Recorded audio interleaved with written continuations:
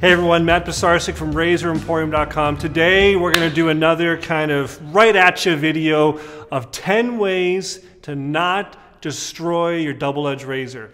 We get asked all the time about is this okay, is this okay, or, or you know, even the opposite. I just got done doing this, or I just did this last night and now there's something wrong with my razor.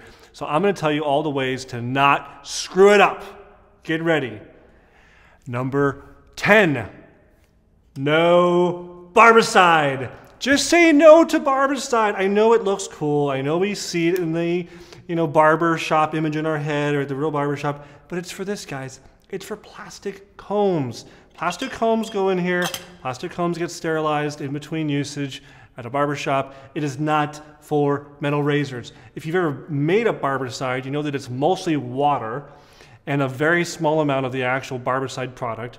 And all that water doesn't just magically disappear. And the moment your metal razor is exposed to tons of water, all you're doing is promoting rust damage if it's stainless steel, you're promoting corrosion, uh, calcification, uh, jamming things up. If it's a plated razor like nickel or gold or rhodium, no plated finish wants to stay in water submerged for a long period of time. So whatever benefit you think it's going to have for sterilization has a lot of negatives for potential damage to your razor. No barbicide. Number nine. No metal polishes. No! I say this because I get the emails and says, oh, I just got an old vintage razor and I pulled out the Brasso or the Flitz or the Moss or the Magwheel finish, whatever. Insert the name here. And I scrubbed it up and now it's really golden and shiny. Is it made of gold? No, no, no! you just took the entire finish off. And now if you want it to be ever fixed, you have to pay someone like us or someone else to go replate it again. Um, do not use these.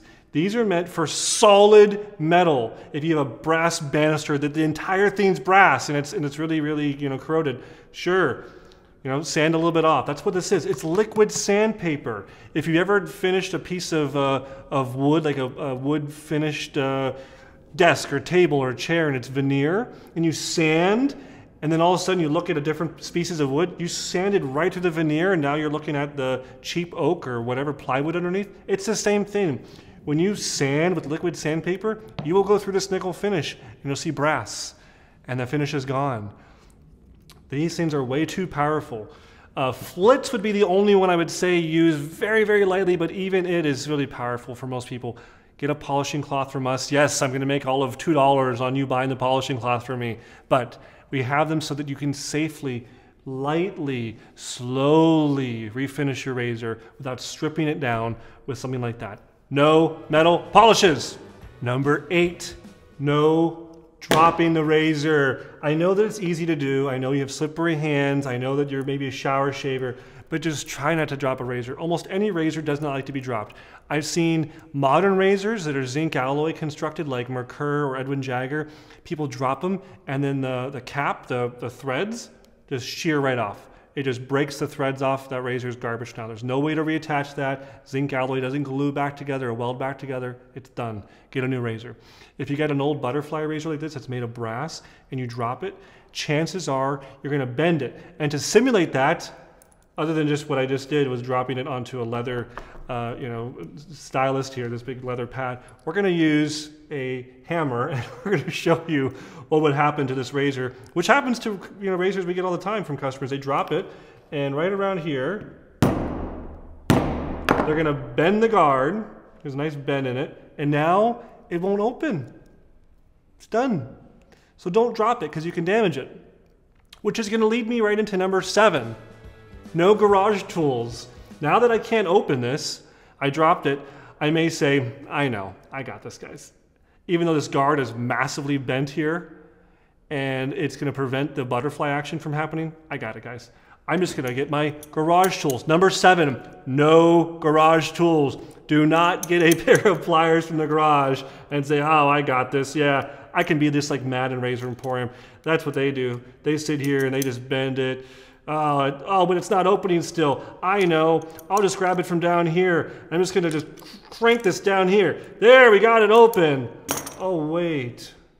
There's scratches and dents and dings and claw marks and teeth marks from my pliers all over this razor now. Oh man. And that's what's gonna happen, guys. You're gonna use these garage tools and you're gonna mess up your razor even more. And then you're gonna send it to me and now I have to go below that mark and sand everything to get rid of it. Don't do it. All the tools in our shop are nylon tipped, nylon coated, rubber coated. Everything's meant to not leave a mark. They're the same kind of tools an optician uses on your glasses. They're the same kind of tools a jeweler uses on earrings or bracelets. They don't leave marks. If you have those kind of tools, awesome. Go ahead and use them, but don't use garage tools. Number six, mineral oil only. Let's say you got this old razor and you wanted to use it and you said, gosh, it's just a little bit, you know, squeaky. Squeaks a little bit. I know. WD 40. Whatever you put on your razor, I want you to imagine putting it in your mouth. If you want to take the WD 40 and just, then by, by all means, please go ahead and use it.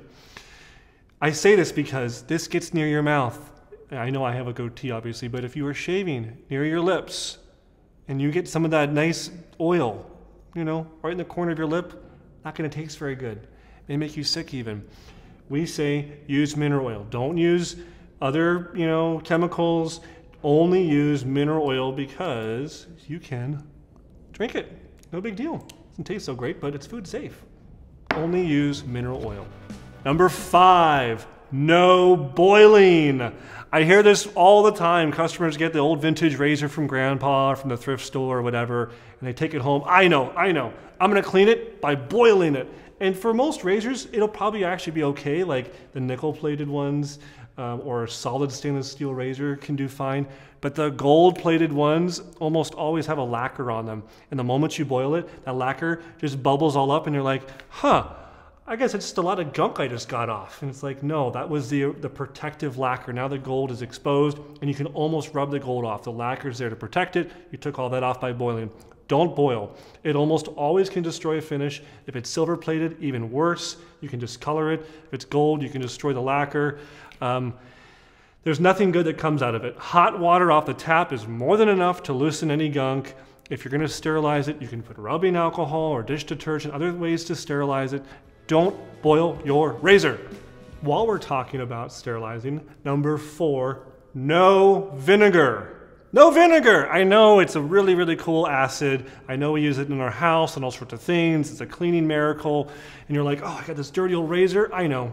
Vinegar. Well, vinegar is an acid, guys. And guess what? I use acid in my shop to destroy finishes on original razors, to strip them. You do not want to put acid on your razor.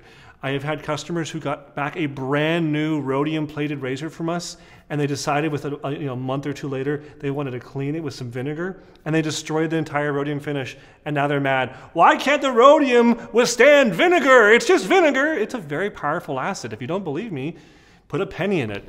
You know, clean something metal with it. It will do a very good job for a reason. It's a very strong acid.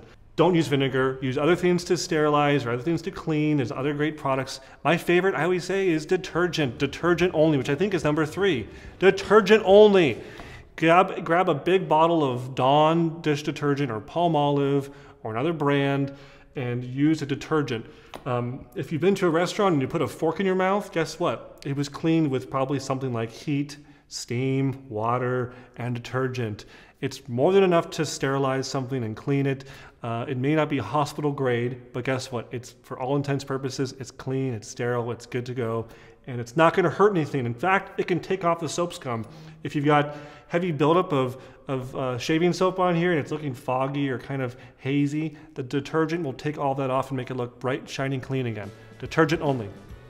Number two, you need to let your blade dry out and breathe. You need to let the razor breathe. So I always hear from customers, they get a brand new high-end razor that's stainless steel, and they're like, oh, I don't know what I did. it must be something wrong with my razor. There's stains on it now. It's staining. I'm like, well, um, did you leave the blade in? Well, of course I left the blade in. I left the blade in with my old Gillettes. What's wrong with that?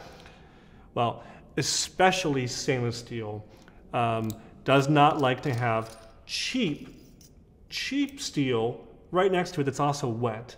what will happen is the wetness will draw the carbon out of these cheap stainless steel blades and deposit it onto your expensive stainless steel razor. And you're gonna take the cap off, you're gonna see brown marks on the cap or brown marks on the guard. You're gonna say, hey, my $250 razor, it's, it's defective, it's, it's staining, it's rusting. No, it's actually your blade.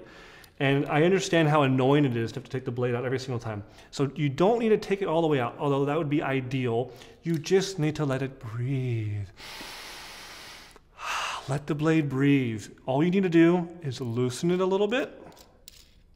Or um, if you have a three piece, loosen the handle, loosen the, you know, the guard, the cap, whatever. Let there be some wiggle room where it's not metal on metal. And if you set it like that, you'll be absolutely fine. You won't have any issues with blade stains. Let it breathe.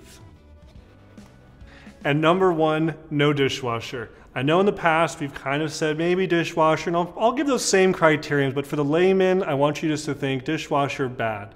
Now, the asterisk mark after this is that if you're really careful and you put it on the top rack and it's on a gentle cycle with low levels of steam and very little strong, strong, strong detergent, maybe like more like a normal, gentle soap, you probably should be okay. But I don't want to take responsibility for you damaging your razor because you put it way down on the bottom and you had some heavy scrubbing cycle and you had a gold plated razor and it gets completely destroyed in your razor or a silver plated razor and it gets destroyed in the dishwasher. So I would just say in general, no dishwasher. I know it's it's right there and you're like, oh, it's a cleaning machine. I can just put my razor in the cleaning machine and it come out clean. I just say that there's a lot of risk with it. There is some reward, but um, you need to know what the razor is plated in, what it's made out of, and you need to know to put it way up high, very little steam. I say no steam because some of these razors feature enamel paint, and you can take the paint all off now. Some of these razors have plastic components, like a plastic handle, uh, or the plastic tip down here, like a progress, and now all of a sudden you've destroyed the plastic. So a lot of risk, very little reward. I think you can almost get all the same results from just a toothbrush, hot water, and detergent. That is all I got. I hope you guys enjoyed this kind of rapid fire thing. So many of these were actual emails I've gotten over the years, uh, sometimes multiple emails, especially the barbicide of the metal polish. I have to answer almost weekly, it seems. So I wanted to make this video for you guys to have a consolidated resource. Please share this video on your favorite chat room so people can also not destroy their favorite razor. Um, and if you do leave a comment, Tell me what number 11 is. Tell me what number 12 is. What did I miss? What did I not get? I want to know other things to not do to destroy your razor. And if you do leave a comment, you're entered to win this, the official Razor Emporium black and blue t-shirt. Thank you so much for watching. We're happy to make these videos for you guys, and we'll see you next time at Razor Emporium for all things vintage shaving.